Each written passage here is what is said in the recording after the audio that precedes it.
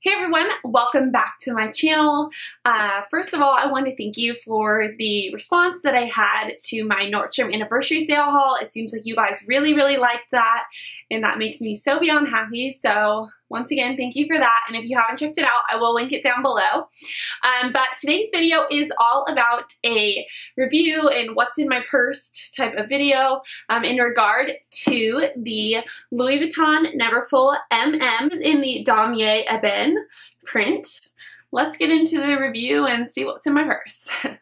So as I mentioned, this is the MM, so this is the medium-sized one in the Neverfull. There's also the PM, which is smaller, and the GM, which is the biggest one. This is the middle-sized one. Um, if you're looking to buy your first Neverfull, I would suggest going with this size. Um, the GM can be a little bit big at times, though it is great for travel, um, and the PM is a little too small, at least for my preference. Um, I like a bigger bag because I tend to carry a lot of stuff with me, usually. I've recently recently cut it down a little bit because my purses were just getting too heavy. um, but as I mentioned before, this is the Damier Ebene print, so that's why it's the brown checker, um, and it has the darker brown leather on the handle, um, as well as the accents here, like these little side things where you can cinch it in. Um, if you don't know anything about the Louis Vuitton Neverfulls, what is great is that you can push in the sides oops, let me do it down here. You can push in the side and then you can tighten up this little guy on the side and make it, well mine clearly I don't wear it like this often, but you can make it so that the side goes like this just by cinching that up. Um, and so it makes it a little bit smaller. If you're traveling and you're afraid someone's gonna like reach into your bag or something, it's a great way to cinch it up. Um, and you can do that on both sides of the bag, which I really do like. Now, when I purchased this bag, it wasn't um, available with the little pouch that comes on the inside. Let me show you what I'm talking about. So my Neverfull in the monogram print came with this little clutch thing.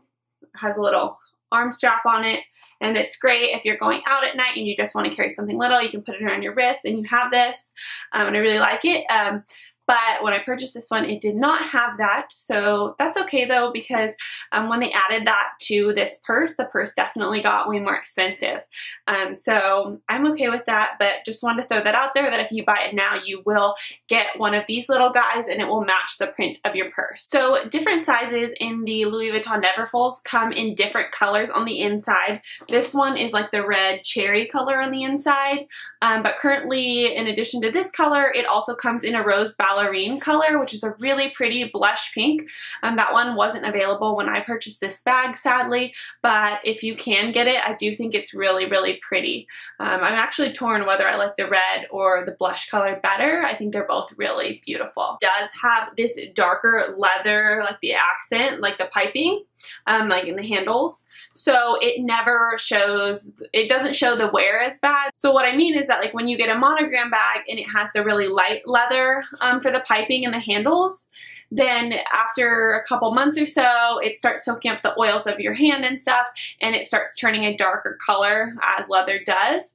Um, but what's cool about this one is that because it's already a dark brown, you don't get that, um, you don't really see that wear as much, which is great in my opinion makes your handbag um, look newer for much longer. So it's definitely a plus to choosing this print. You really can't go wrong with the Neverfulls. If you're looking to buy your first Louis Vuitton purse, I'd either suggest going with the Speedy or the Neverfull. I think those are the two classics. Um, they're also two of the bags that are on the more, not inexpensive, but less expensive than a lot of the other ones that Louis Vuitton sells. Um, so that's a great plus as well for choosing one of these over some of the other ones they sell. Another feature that I really like about the bag is that at the top it has this little, um, I don't know what you call this, clasp where you can hook the two sides together. So once again, it just makes sure it doesn't like fall open um, while you're carrying it. Just another feature that helps make sure that your purse doesn't get open and stuff like that, kind of like how the little things on the side um, help prevent that.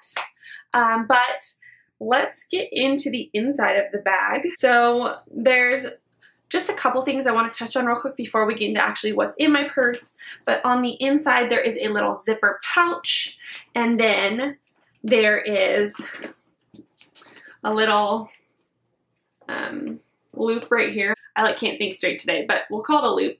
Um, and you can use that like the newer purses if they come with the little pouch you can hook this end instead of like in a circle like I have you can hook the end to that little metal thing so then you can easily find the little pouch um, I'm not using it for anything right now but it probably would be great if you wanted to like hook some car keys or something like that that you don't want to easily lose um, and those are like the basically the main features inside of this bag. Other than that, it's pretty much a tote bag, but there's plenty of room in it and that's why I really like it. Um, it's great for if you're traveling, that kind of thing, because there's a ton of room. Um, so basically my overall review of this bag is that I do really, really like it. Um, honestly, I can't think of any cons for why I wouldn't purchase this bag. I think your hardest decision when deciding to buy the Neverfull would be which size um, and then also which, which material do you want? You know, do you want the monogram? Do you want this one? That kind of thing. Um, but honestly, it's a great bag and you really can't go wrong with buying it. You'll have it for years and years and years. And if something like goes wrong with it, like um, if some of the piping gets messed up and you want new piping, you can pay to replace that. Um, they'll fix it all up for you. So now on to the part of the video about what's in my purse. I don't know why people love these videos. I guess we're all a little bit nosy. We want to see what everyone else is carrying in their purse, get some ideas for ourselves. Um, I'm kind of a person who's like uh, normally a what if person, so I carry way too much stuff in my bag. Um, but as I mentioned at the beginning of this video, I've really tried to cut down what I carry in my purse because I was just carrying too much stuff. It was too heavy, so I've really narrowed it down, and these are my essentials that I carry in my bag on a daily basis. So first of all, my cell phone. Obviously, always have to have that. Um, inside of the purse, there is this little, you can see my sunglasses right here. What, what are they hanging on? There's this little tag right here. You can see it's just a little loop. A lot of times I like to hang my sunglasses on there because one, I can easily find them, um, and two, then they don't get scratched or, you know, around in the bottom of my purse with everything else. Just a little something that I've been doing. Oh, by the way, these are the Quay Australia Sugar and Spice sunglasses. I don't know if they're still available. If they are, I will link them down below. Um, but I get so many compliments on these because they're like a white and brown marble print, and then they have the silver lenses that are reflective. Okay, the next thing I carry in my purse is a light sweater. I get cold frequently, so I always have some sort of little sweater. Right now I'm carrying this old little see-through one from Nordstrom that I am obsessed with. I've had it for probably four years and it's it's just great. I wish they still sold them. Um, next up is a phone charger because as a sorry that's the phone um, but as a blogger and youtuber i'm constantly on my phone posting things um, preparing content and stuff so my phone dies frequently um, so i always have that with me and i usually actually have a backup charger as well in here but for some reason i have misplaced it recently so another thing though that i usually carry with me Next up is a little snack. I am a huge snacker, so this is um, a little bag of trail mix from Trader Joe's. I want to say this is the Rainbow Trail one or something like that um, because it has uh, let's see, I think it has raisins, almonds, peanuts, um, and then it has some little M&Ms mixed in, which I love because I'm a total chocolate lover. But this is really, really good from Trader Joe's. And then I often have a bottle of water. This does weigh down my purse, but I've been trying to drink more water recently, so it's always a good idea to have this. Or a lot of times if I don't want it to weigh down the purse, I'll just carry it in my hand.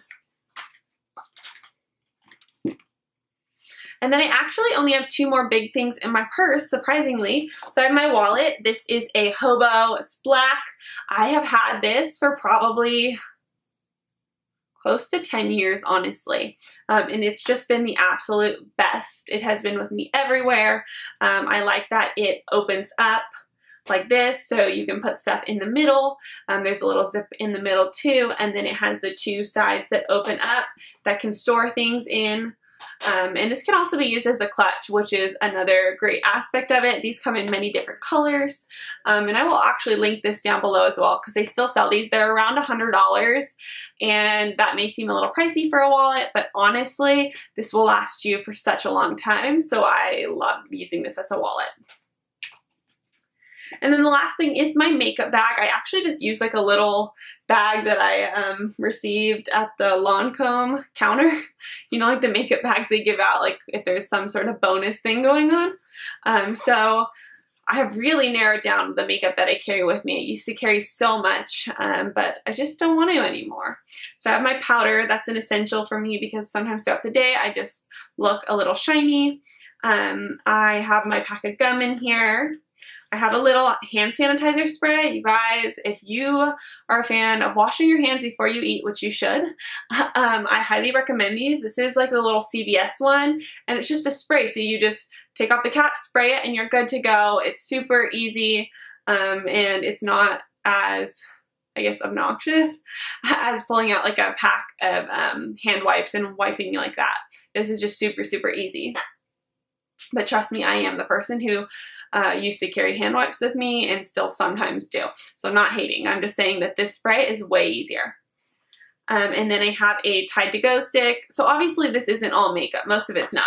Um, but here comes my lip products, which is always essential. So first of all, I have this Urban Decay Hi-Fi Shine Gloss in the shade Beso. And if you want to see a review video of all the different glosses in the Hi-Fi line, I will link that down below. Um, I'm swatching all of them in the video. And then last two, which are my absolute favorite, um, this is my go-to lip combo right now. So I have the NYX lip liner in the shade Mauve. So I line my lips with that. And then I have the Sephora Cream Lip Stain in the shade 40. I can't remember what this is actually called. There's a name for it. Um, but these two together are such a beautiful combo and I get so many compliments on it. So highly, highly recommend these. Alright, so that's the end of my video. I hope you enjoyed. If you're new to my channel, please subscribe.